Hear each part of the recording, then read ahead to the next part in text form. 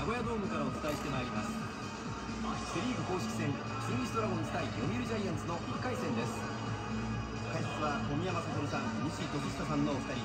実況は三橋大輔でお伝えしていきます。お二人どうぞよろしくお願いします。よろしくどうぞ。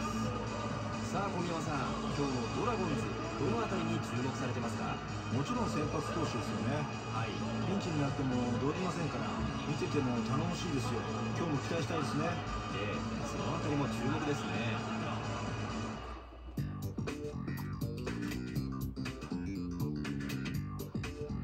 ムズペランチが4番なんだ。意味わからん。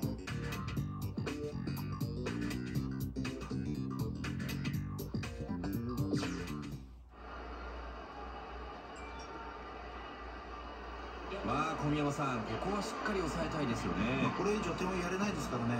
そうですね。ここは踏ん張りたいところ。ちょっとすっぽ抜けた感じですインローボールボール先行です。低めはこれは入っていました。イ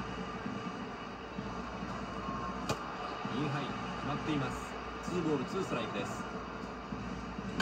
打ちました荒木ツーアウトになりました。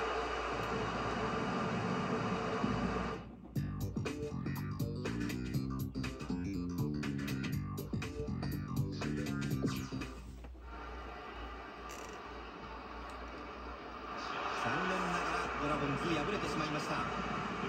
西さん最後まで点差を縮めることが残念ながらできませんでした。うんそうですね。まあもう一息でしたね。まあもうちょっと打線の分岐を期待したいですよね。うん明日以降ぜひそのあたり期待したいところです。勝ったジャイアンツ大きな今日は勝利になりました。一方のドラゴンズですが残念ながら敗れてしまいました。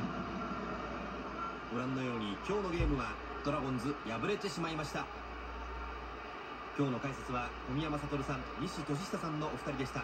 どうもありがとうございました。ありがとうございました。この辺りで名古屋ドームから失礼いたします